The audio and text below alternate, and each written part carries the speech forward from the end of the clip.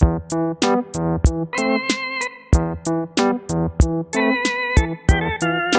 that's why you don't throw water balloons from fourth floor Ruby Wagner dorm, Mitch. Right, Pop. Gee, thanks. You always know to do what's right.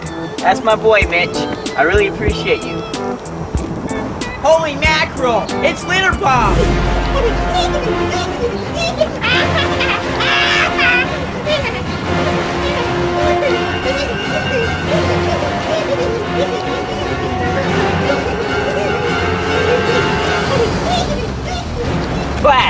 Looks like he's heading to downtown Chattanooga. Let's go! This looks like a job for Sparkleman! And Junior Spark. Let's go! Park, have you seen Litterbug? It's on the other side of the river. On the other side of the river. Quick, let's go, Junior Spark. It will be more conducive if we fly. Hop on my back, Junior Spark. And away! Hey, look in the sky. It's a bird. No, it's an airplane. Way, Junior Spark.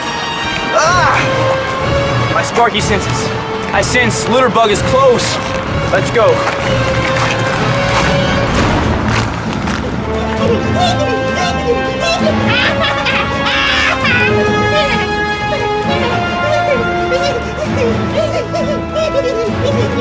Litterbug! Let's go!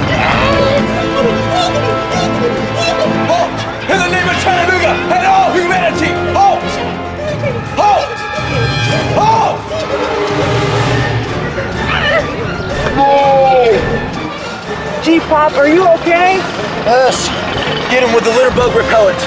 And may the sparkles be with you. Yes, Dad. Take this, Litterbug.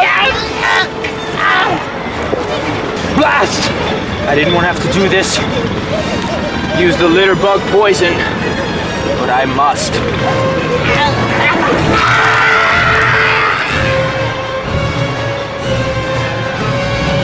Junior Spark, are you alright? Yeah, Pop. I just hope I didn't let you down. You didn't, son. You did what you had to do. You see, son? Litterbugs never prosper. But with the help of Chattanooga and the fine students of Tennessee Temple University, we will be victorious. Sparkle Day triumphs again. Citizens of Chattanooga, if you see a litterbug, squash him and put him in the trash. Go